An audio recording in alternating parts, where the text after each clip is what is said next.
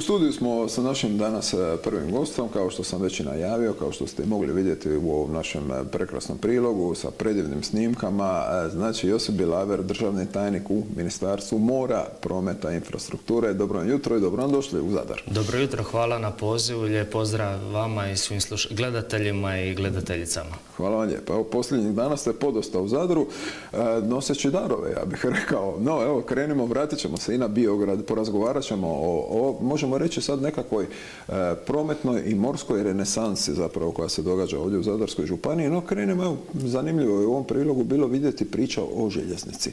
Znači kreće obnova željezničke pruge e, i željeznice Zadar-Knin, jer 73 od 96 ukupno kilometara javne ponude se sad prikupljaju, znači vrijednost oko 90 e, milijuna eura. Evo, kao što ste rekli, vlada Republike Hrvatske u proteklom razdoblju je uložila znatna sredstva u prometnu renesansu, preko 3,5 milijarde eura projekata.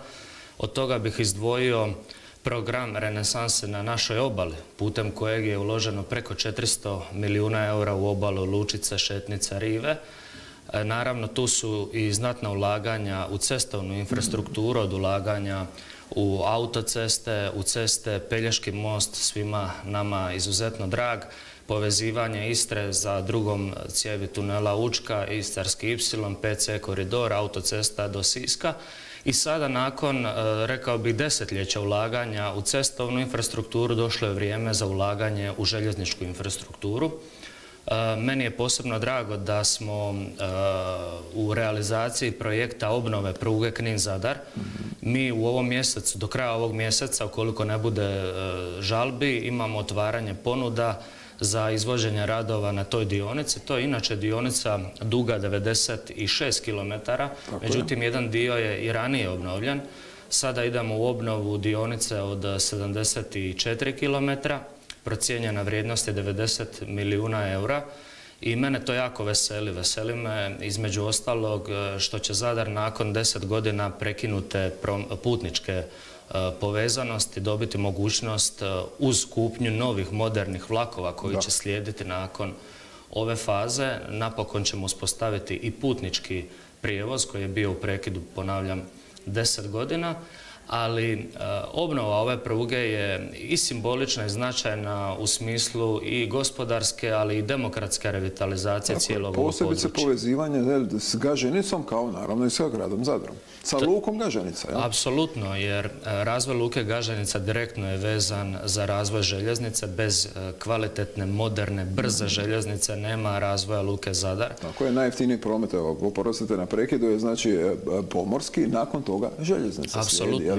to je intermodalni promet koji je povezan, koji se i kroz e, sredstva Europske unije potiče. Jasno. E, znamo da su naše luke najbliža točka između, za robe između istoka i srednje i jugoistočne Europe i nama je vrlo važno da naše luke koje imaju kvalitetnu infrastrukturu razviju i željezničku infrastrukturu jer ta poveznica garantira brzu vezu sa ostatkom Europe. U tom smislu e, mi u Luci Zadar trenutno smo i u fazi pronalaska e, novog koncesionara za gatove 7 i 8. Vrlo brzo ćemo raspisati natječaj za taj dio. Te uz obnovu željeznicu, e, dakle, rok za obnovu je tri godine, to je 73 km. Mi očekujemo da će Luka Zadar profunkcionirati u svom punom smislu. Prodisati punim plućima. Apsolutno što će dati dodatan poticaj razvoju gospodarstva, zapošljavanju kako direktno u luci, tako i u ostalim industrijama koje su vezane za tu djelatnost. E, osim ovog dijela obnove pruge, e, mi smo trenutno, i to je važno za reći za stanovnike Bibinja i Sukošana, nakon dugog niza godina govora i planiranja, mi smo u fazi ishođenja lokacijske dozvole za izgradnju tunela 2,8 km dugog tunela koji će riješiti muke i Bibenja i Sukošan, izmjestiti tu prugu napokon van naseljenog područja. Plan je do kraja ove godine dobiti lokacijsku dozvolu te onda raspisati natječaj po modelu Design and Build, što znači da će budući uh, izvođač imati uh, obvezu napraviti glavni projekt, te izraditi, odnosno da tako kažem, izbušiti taj tunel i napokon izmjestiti prugu iz tih mjesta i jedan i drugi proces. Dakle, i proces tunela i obnove pruge od Knina do Zadra bi trebali biti gotovi e, otprilike u, isto vrijeme. A to je, to je lijepo čuti. Naravno i uređenje kolodvora je tu i nabavka tih novih modernih vlakova s kojima ćemo, vjerujem, se ponositi i voziti. Jel? Pa evo, mi se stvarno možemo pohvaliti da smo u proteklih e, dvije godine dobili e, novih 23 vlaka e, koji su financirani iz europskih sredstava. Ovih dana, u, zapravo u travnju, očekujemo isporuku posljednjeg iz tog ugovora, međutim mi nastavljamo dalje. Poznato je da smo mi naručili i dva prototipa baterijskih vlakova. Prvi vlak bi trebao biti isporučen u kolovozu ove godine. Dakle, nama je zaista, odnosno vladi Republike Hrvatske, jedan od prioriteta je dekarbonizacija prometa, a upravo ulaganje u željeznice najviše doprinosi tom cilju. Da, to je lijepo. Spomenuo bih naravno još jednu zanimljivost ovdje u gradu Zadru o kojoj se pogotovo priča ovih dana, a to je tramvaj u Zadru. Tako je, to je e, jedna od ideja o kojoj se razgovara. E, naime, e, mi želimo putnički promet dovesti najprije do Gaženice, a od Gaženice u suradnji sa gradom e, razmatramo model putem kojega bismo e, Gaženicu povezali sa sadašnjim kolodvorom, međutim mi e, nudimo gradu Zadru izgradnju jednog oblika tramvaja. To ne bi bio metro kako se spominjalo u javnosti jer je to nemaju ni mnogo naseljeniji, veći i bogatiji gradovi ali smatram da je tramvaj jedna, dvi ili tri linije e, sasvim izvediva opcija. Mi smo to spremni sfinancirati u 100% iznosu, a na gradu Zadru je da odluči kuda, na koji način bi te e, poveznice išle. Prepostavljam da bi to bilo e, i po novoizgrađenoj Tuđmanovoj ili do poluotoka. mi smo spremni platiti i infrastrukturu, ali i nove tramvaje koji bi prometovali na tom pravcu. Ponavljam, e, na gradu Zadru je da se odluči, mi stojimo na, mi smo tu jer i onako već ulažemo znatna sredstva u obnovu pruga e, i u gradu Zagrebu i Osijeku u nabavke desetke tramvaja, tako da nam je ovo E, također u skladu sa našim ciljevima i ciljevima dekarbonizacije koje potiče i naša vlada, ali i Europska komisija. Da, ali tramvaj ćete nabaviti jeftinije, znači u okviru što ih se više uzme vezano u Zagreb i Slavoniju i sad evo i Dalmaciju, znači opet neće biti ona puna cijena. Pogledajte, to je stvar javne nabave, ali sigurno da proizvođači ukoliko planiraju da će biti e, veći broj naručenih tramvaja ili vlakova, da onda po tome i formiraju svoju cijenu. Točno, točno. Uvijek je bilo, jel, kad se, što se trgovine tiče. E, evo, neki dan je u Biogradu su dodijeljeni ugovori i sporazumi za ključne projekte izgradnje, sanacije, rekonstrukcije pomorskoga, pomorskoga dobra u, kako se službeno zove, u općoj uporabi Zadarske županije. 21 ugovor. Da, 21 ugovor, e, vrijednost ove godine... To sad, oprostite, na prekred, znači kad god vas vide ovdje u Zadru načelnici, svi očekuju, aha, sad ćemo dobiti nešto. Pa dobro, evo, mislim... Do... Novi projekti, nova sanacija. Meni je drago da, da imamo dobre makroekonomske pokazatelje. Činjenica je da ta sredstva dolaze iz nacionalnog e, proračuna. S obzirom da mi, za razliku od mnogih zemalja i na zapadu Europe i u srednjoj Europi ostvarujemo visoke stope rasta gospodarstva, to znači više novaca u proračunu, to znači više novaca i za plaće, za mirovine, ali i za investicije. Shodno tomu, evo, mi smo povećali izdvajanje za lučku infrastrukturu Otprilike 2016. E, godine smo krenuli sa 3 milijuna eura, sada smo došli na 20 milijuna eura. To u konačnici znači e, veće investicije, e, uređenije plaže, rive, šetnice, luke, više komunalnih vezova i naravno sretniji i zadovoljniji naši građani, ali i turisti koji dolaze. Sigurno. Tako da meni je drago što sam u resoru koji može pomoći e, našim, mjestima uz obalu i veseli me kada smo u mogućnosti to i donijeti takve ugovore. Ove godine se to radi u, Zadru, u Zadarskoj županiji o 2,7 milijuna eura, međutim tu nisu pribrojena europska sredstva koja su znatna na našem... Smo, navikli smo malo na te iznose velike desetke milijuna eura i onda sad kao 2,7 milijuna kao to nije puno. To je lijep novac. Je, je, e, lijep novac, međutim u svojoj šumi tih velikih mm. ulaganja smo počeli zaboravljati vrijednost e, svih tih e, milijuna eura i možda je to i dobro jer se znači da, da je i više ulaganja ali e, svakako da, e, treba napomenuti da su to znatna ulaganja. Nije, ne znači samo evropski projekt, e, jedan potpis je evo sve riješeno. Treba ishoditi sve dozvole, lokacijsku, građevinsku, utjecaj na okoliš i tu, su, tu ide velika pohvala našim načelnicima, gradonačelnicima, županijskoj državnoj lučkoj upravi. Nakon toga mi kao ministarstvo trebamo osigurati sa, u razgovorima sa Europskom komisijom povlačenje tih sredstava, e, izradu poziva, evaluaciju, na posljedku izradu ugovora, dodijelu i tako dalje. E, što se tiče europskih sredstava, e, najveća ulaganja su u Luku Tkon, u Luku Sali, kao što smo vidjeli u prilogu. Međutim, evo, meni je najdraži obnova Zadarske rive, i mislim da, smo, da svi možemo biti ponosni na, na obavljeni posao, da i naši građani, ali i turisti koji dolaze ovdje, da su sretni. Drago mi je da se sada obavlja i ovaj, obnavlja i parterni dio e, naše rive. Ali tu nije kraj. Mi imamo u planu ulaganje europskih sredstava u proširenje e, u luke u Preku, mhm u izgradnju novih komunalnih vezova u Svetom Filip Jakovu, u Vrsima, e, luku Bregdeti moramo sanirati čim prije.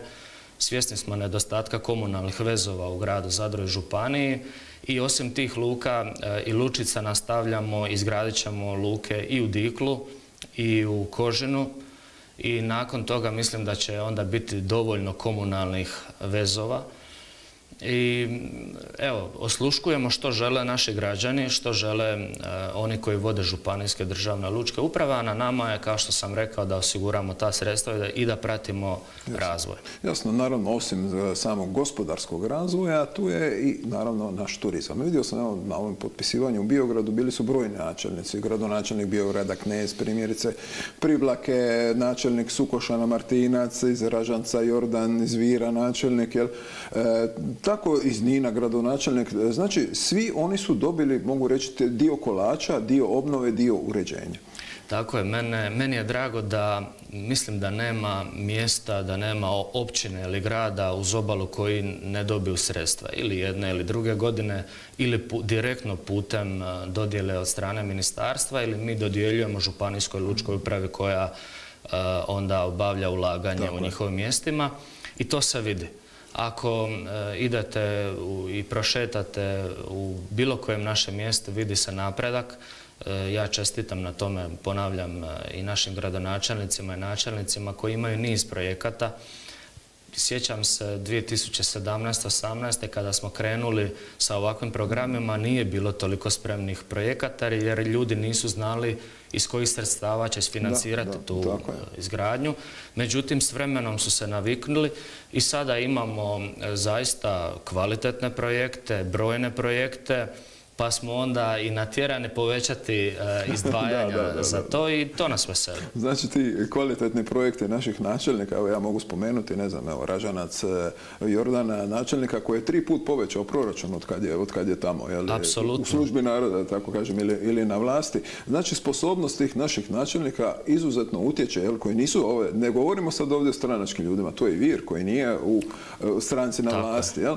Tako da, znači sposobnost tih načelnika i naravno ljudi oko njih doprinosi povlačenju fondova i znači mogućnosti da, da vi tako rečeno darujete zadarski kraj. Apsolutno, gledajte, mi u, evo i ovoga, ovoga puta smo dali i dali, dodijelili ugovore na osnovu spremnosti projekata, vrijednosti, prioriteta.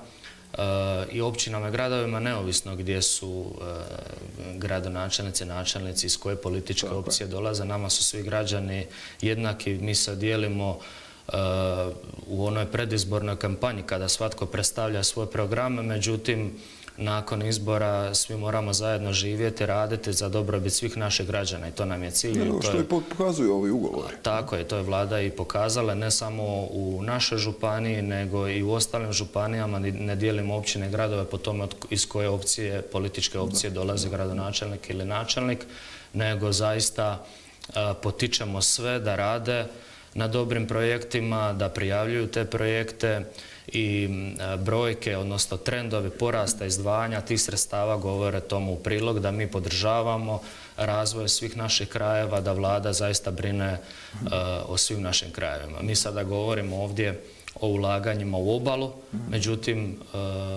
ista i slična ulaganja su i ostalim dijelovima Hrvatske i mislim da nijedna županija ne zaostaje po ulaganjima u cestovnu infrastrukturu, zračnu infrastrukturu. Mi se možemo pohvaliti primjerice ovdje u Zadarskoj županiji. Naša zračna luka ostvaruje rekordne e, brojeve putnika. Prošle godine je to bilo oko milijun i 250 tisuća, ove godine očekujem milijun i pol putnika. E, znatna su ulaganja e, u ulaganja u infrastrukturu naše zračne luke.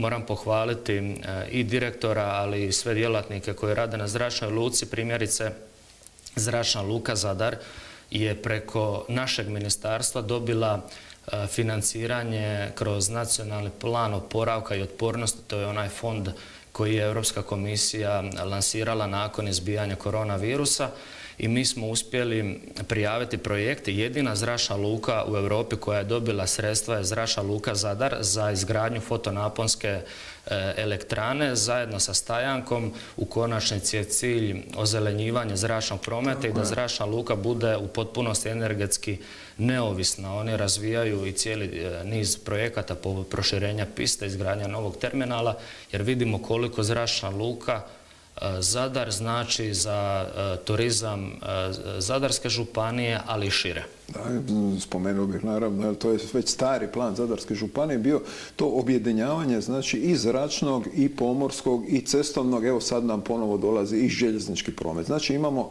sve ovdje na raspolaganju što je bitno za gospodarstvo, a i za turizam naravno. Sada ću vam, kad, kad već govorite o objedinjavanju, pa ću reći malo poznatu činjenicu koja u javnosti, a to je da smo mi napravili jedan plan koji nakon ovih obnova, a to je s obzirom da je ovo veliki financijski zaloga, 90 milijuna eura je obnova pruge Knin-Zadar, mislim da će biti otprilike iznos potreban i za izgradnju tunela. E, nabavka novih vlakova, ali nama je cilj e, povezivanje, u konačnici povezivanje zračne luke sa lukom Gaženica. I time bi e, zračna luka Zadar bila prva u Hrvatskoj koja ima tračničku poveznicu između zračne luke i luke, odnosno centra grada. Krasno, to je, to je još jedan dobar pokazatelj primjerice za punjanje kruzera jeli, sa gostima, što je izuzetno dobro. Znači biti logistička luka, to je pun pogodak. A evo, moram spomenuti starog župana još u vrijeme, ne znam, Šime Prtenjače se pričalo o tom objedinjavanju. Naravno, tada se jurilo da ne bi autoput otišao preko druge države, znate te stare priče. Što je sve rađeno, znači sve zadarske snage su bile ujedinjene tada u tim razgovorima i dogovorima i na kraju to rezultiralo ovim fantastičnim spojem u Zadarskoj županiji. Tako je. E, mi se u Zadarskoj županiji možemo pohvaliti sa kontinuitetom i nastavkom politika naravno da dolazi i do e, smjene i generacija da se ljudi mijenjaju, ali važno je da e, razvojne politike ostaju iste, da sve političke opcije u Zadru i Županiji imaju isti cilj, a to je razvitak Zadarske županije, razvitak ovog dijela Hrvatske, jer kada smo zajedno, kada zajedničkim snagama nastupamo u Zagrebu ili u komisiji, onda sigurno da smo jači i da se nas glas polje čuje. Zajedno smo jači, da, to, to sigurno. E, prekjučer ste, ako se ne varam, prekjučer posjetili općinu Pašman, također noseći darove, 100.000 eura za obnovu školjere. Točno. E, bio sam na otoku Pašmanu u općini Tkon, evo, načelnik iz Tkona je pobjedio na nezavisnoj listi a u Pašmanu je načelnik iz Hrvatske demokratske zajednice. Htio sam ići vidjeti koje to projekte smo financirali prošle godine, mhm. odnosno prijašnjih godina, koje za koje smo dodijelili sredstva ove godine, jer je drugačije kada, kada vidite zapravo na što se novci troše i drago mi je što e, dva mlada načelnika e, vrlo sposobna, već i dosta iskusna, imaju kvalitetne projekte i ideje i viziju razvoja svojih mjesta. Radi se i o razvoju same plaže, primjerice u Tkonu, koja je izgradnjom nove, novog putničkog pristaništa, upravo ovog projekta koji smo financirali iz europskih sredstava, na neki način ogradio plažu i sada je e, sa ovim projektom koji smo dodijelili ove godine cilj da se ta plaža uredi, da se naspe i da ona bude dobra i za goste i za same e, znači, mještane tkona. Rekli bi naši stvari ljudi dvije muhe jednim udarcem. Tako je. E, bili smo i u kraju, bili smo i u Griniću, ondje ima jedan vrlo zanimljiv projekt razvoja lučke obalne infrastrukture i pokušat ćemo svakako iznaći načina kako poduprijeti i razvoj tog projekta. Nakon toga sam otišao u općinu Pašman gdje su me dočekali načelnik sa svojim suradnicima, vidjeli koji su to razvojni planovi, vidjeli za što smo dali novce ove godine, svakako ćemo podržati i povezivanje Mrljana sa Pašmanom, ali isto tako e, i e, izgradnju obale u Banju. Prije toga smo ulagali u Dobropoljani. Ove godine smo dali sredstva preko Županijske lučke uprave za sanaciju, rekonstrukciju luke u Pašmanu. primjerice sam vidio na samom gatu da, ne daj Bože, dođe dijete, može propasti kroz rupu. I ta sredstva koja smo dali ove godine su za sanaciju cijelih tih dva, tri gata koja će doprinijeti dakle i sigurnosti, ali i kvaliteti povećanju komunalnih vezova i kad vidite na terenu, ja volim vidjeti što se radi na terenu, kada vidite što se radi, evo, bio sam ovoga, vrlo zadovoljan sa, sa viđenim. Bravo, spomenuo bih i otok Pag, spomenuo bih Novalju koja nije direktno u Zadarskoj županiji, na, Pag svi ovdje volimo, jer najveći dio je ipak u, u Zadarskoj županiji. Nedavno ste bili na otvorenju ribarske luke, znači u samoj Novalji. Također još jedan prekrasan projekt. Da, e, Novalja je napravila ogromne korake u proteklih nekoliko godina u izgradnji infrastrukture. Evo, po sve pohvale gradonačelniku Dabi. E, mi smo ih podržali sa, kroz nekoliko e, projekata. Svakako najznačajniji je Primorska ulica. To je zapravo ono što je u Zadru naša riva, to je njima Primorska ulica u Novalji. Vidio sam snimke prekrasno uređene. Da, e, projekt vrijedan oko 7,5 milijuna eura. Da, a i evo, sutra nam gospodin Dabo dolazi baš u emisiju pa ćemo pričati na tu temu baš vezano, vezano s Primorsku ulicu i Ribarsku luku. E, baš mi je drago da dolazi pa će vam on više i o značaju samog tog projekta reći. Evo, hvala Bogu da smo uspjeli završiti uspješno taj projekt, međutim mi smo uspjeli isfinancirati iz europskih sredstava i e, Luku Žigljan također njima vrlo značajnu. Tu je naslonjeno na Primorsku ulicu i Ribarska luka, tako da mislim da su napravili dobre pretpostavke za razvoj. Znamo koliko Novalja ovisi o turizmu, ali osim turizma, a to se odnosi na sva naša mjesta uz obalu, treba osim tih 4 do 5 mjeseci, svima nam je interes produljiti tu sezonu, ali osim tih turističkih mjeseci treba živjeti ostatak godine. Mjesta uz obalu, gradovi, općine trebaju biti ugodni, pružiti sadržaj našem stanovništvu tokom cijele godine. To je, to je osnovni motiv koji nas vodi dok ulažemo znatna sredstva. Evo, iako nije vaše ministarstvo, ali moram spomenuti isto jedan projekt koji je bitan za Zadarski kraj i cijelu ovu županiju. Znači, nedavno je, evo, neki dan tako rečeno, pušten u probni rad i Centar za gospodaranje s otpadom.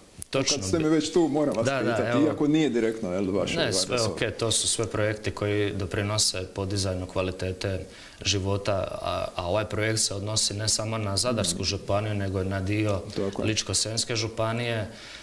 Drago mi je da je bio predsjednik vlade gospodin Andrej Plenković na otvorenju, time je dao dodatan značaj tom projektu.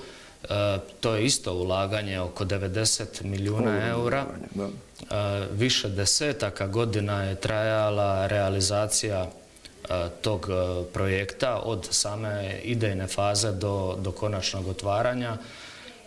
Moram priznati da sam ja bio prvi put u tom kompleksu jednom cijelom i da to izgleda zaista impresivno uz svu tu tehnologiju, uz standarde koji se trebaju poštivati pri gospodarenju otpada mi dolazimo do toga da otpad nije smeće kako je to do sada bio, nego je zaista sirovina koja će se moći upotrebljavati za neke druge namjene u budućnosti. Da, točno neki gradovi. To je za grijanje znaju, vidjet ćemo za što će sve to donositi i budućnost razvoja, čak možda i za nekakvu industrijsku zonu u budućnosti. O tom potom, naravno, jel, vidjet ćemo što nam budućnost bude donosila.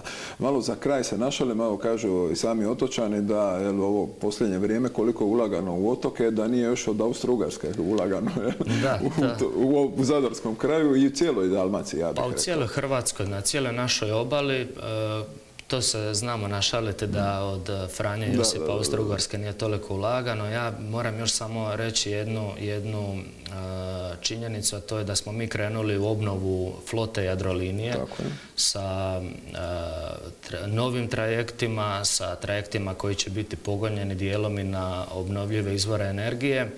A ovdje za Zadarski kraj važno napomenuti je da je u, u planu nabavka izgradnje novog trajekta koji će moći proći ispod mosta Ždrelac koji će povezati e, sa, i ovaj drugi dio dugog otoka sa Zadrom. Znači skratit će put. Tako je. To zasigurno. Gospodine Bilevar, hvala vam lijepa. Ja ću malo našaliti na kraju. Dođete opet u Zadarsku županiju noseći darove. Ja sam uvijek tu. Znam, naravno. Vi ste naš domaći čovjek ovdje, tako da vas volim ovako malo zgrabiti na Dilgoru kad ste nam, kad ste nam tu.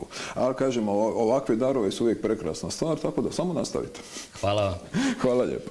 Dragi, dragi gledatelji, evo, malo kadrova sad vidjeli smo renesansu u e, pomorstvu, renesansu u prometu i prilog prije, jel, koji prije ovog razgovora, a sad malo nekoliko kadrova zlata i srebra grada Zadra, također jedne naše predivne e, zadarske tradicije zlatarstva koja je nekad u ovom gradu bila, a nakon toga dolaze nam e, Doris Bajlo iz Cukrića vezano uz priču o znači drugim danima djece s teškoćama u razvoju i njihovih obitelji festival inkluzije upoznajme.